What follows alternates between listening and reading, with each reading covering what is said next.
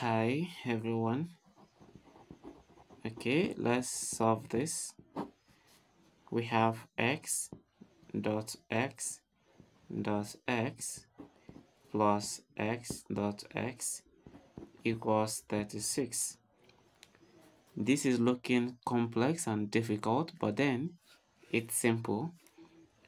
x dot x dot x. This dot here is multiplication so x times x times x will give x to the power of 3 plus x times x will give x to the power of 2 and this is equal to 36 now the next thing is can we break this 36 if you look at it we have x to the power of 3 plus x to the power of 2 okay but before breaking it you must have thought about it. This 36 i want to break it down into 27 and um, 9 this is because i already have this in mind. 37 36 could have been you know another thing. It could have been 30 and 6 but it it will not give us something in this form. So we have to use these two numbers now we have x to the power of 3 plus x to the power of 2 now equal to 3 to the power of 3 plus 3 to the power of 2. Now look at the left hand side and the right hand side. Can you see any resemblance in form? Yes, this and this can go together and this and this can go together. So I'm going to pick x to the power of 3. This becomes minus 3 to the power of 3. Then I, I will have plus x squared. This becomes minus 3 squared. Then we equate to 0. Now, what if we decide to deal with this separately and this separately? Difference of two cubes, difference of two squares, right? Do you know the standard for difference of two cubes? Just like we have a squared minus b squared to be equal to a plus b into a minus b. What would you get if it was to be difference of two square, I mean difference of two cubes, like a to the power of 3 minus b to the power of 3. What will this give us? It will give us a minus b into a squared plus ab plus b squared. Difference of two squares, difference of two cubes, right? Okay, subscribe to my channel for more of this.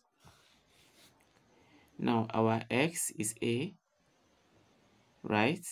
And this 3 here is going to be the b. So x minus b becomes a minus b becomes x minus 3 into a squared is x squared like we know.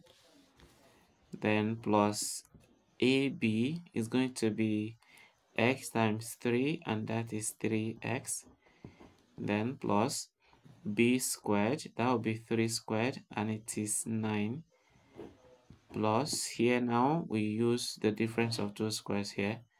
So we'll have x plus 3 into x minus 3 now there's nothing on the right so we have 0 now this and this are the same so we call it common factor. x minus 3 is common to both of them then here now we have x squared plus 3x plus 9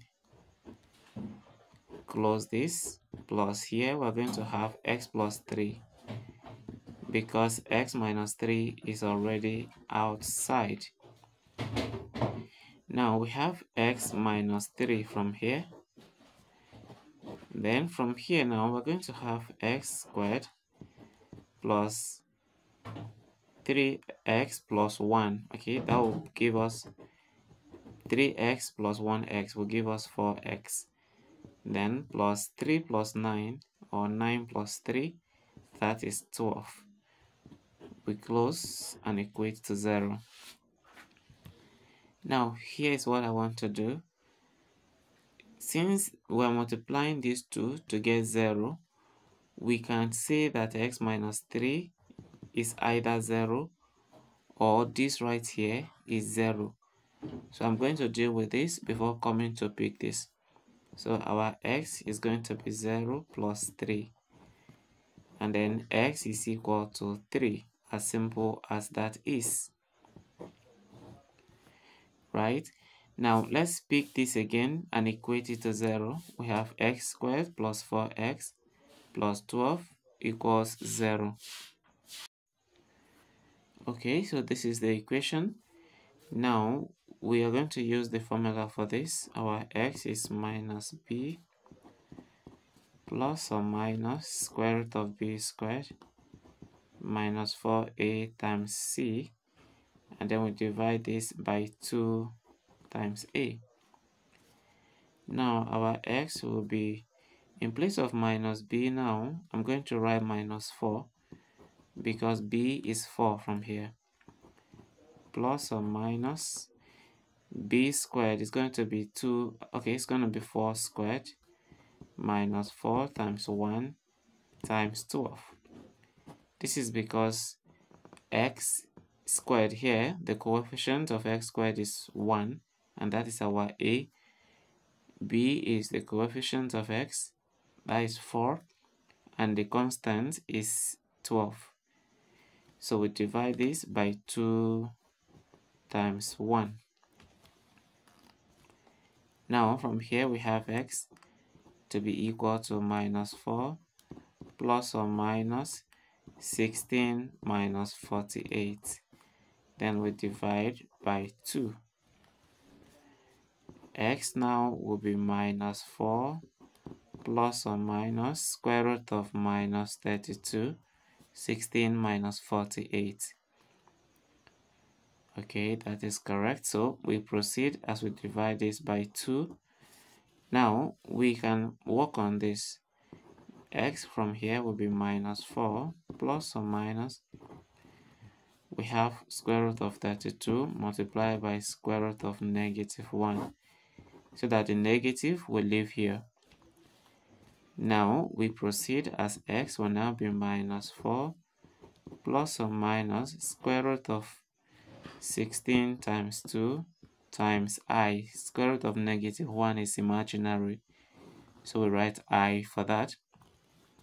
And we divide by 2. 16 times 2 is 32. Now our x is going to be minus 4 plus or minus. We have square root of, um, okay, I think I can just break it. No need for this step. So we have our x to be equal to minus 4 plus or minus square root of 16 in there is going to give us 4 then root 2 times i as we divide by 2 I want to rearrange x will now be minus 4 plus or minus 4 times i that will be 4i root 2 this is better so that this i will not appear to be under the root here. And we divide this by 2 right? X will now be 2 can go there. We have minus 2 plus or minus. The same 2 will go there. We will now have 2i root 2 this is a two-in-one solution in case you do not know. So let's bring the three solutions together. The first one x1 equals to the second x2 is equal to from here we have minus 2 plus 2i root 2 then let's get our x3 and it's going to be minus 2 minus 2i root 2 these right here are the three solutions to the equation